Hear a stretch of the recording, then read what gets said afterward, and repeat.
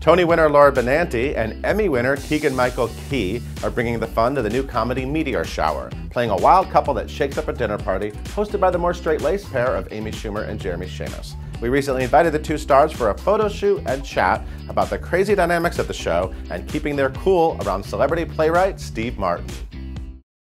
part of the joy of this experience has been watching the delight in his eyes. Yeah. Watching this, watching him watch it come together. It's been lovely. I can't look at him.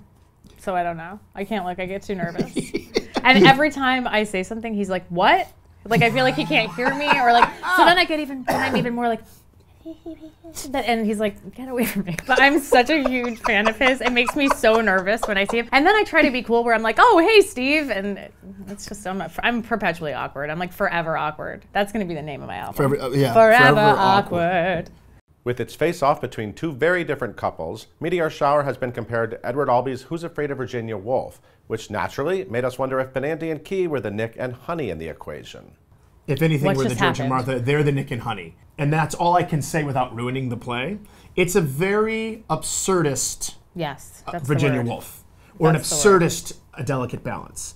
It's an absurdist Albee. Pick an Albee, and it's the absurdist version of that. Yeah, it's um. You so just sounded so smart. was it? so thank you. honey. Yeah, I mean, I know you're really smart, but you just sounded like very like theatery.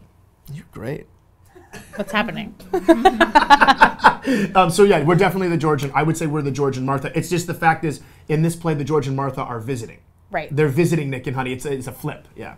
They've decided that the best way to keep the rela- their relationship fertile and, and, and, and exciting and fecund with opportunity is, is, is, is, is to try fecund. is, is to try is to try to keep everything as open. It's not a real word. F E I just googled it C-U-N-D. on my hand, and it's not So- a real word.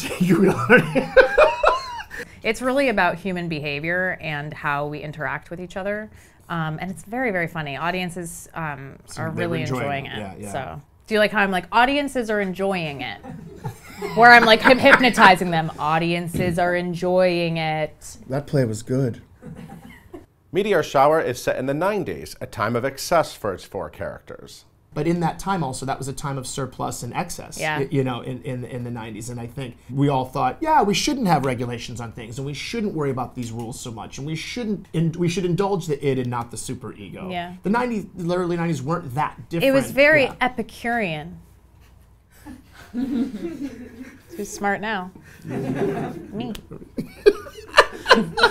I don't know what happened to me today. You're so you're like an why- I don't know encyclopedia of knowledge. happened. It's Yes. very annoying. Both Epicurean and Dionysian. Oh Jesus! I hope the audience leaves saying Laura Benanti looks beautiful. Honey, they do. That's what I want them to leave. No, I guarantee she you had a they do. baby. That's what I want them to say. yeah. And then also all that stuff you just said. but later, But later, Later. no, the first thing I should thing, be thinking is she had a baby.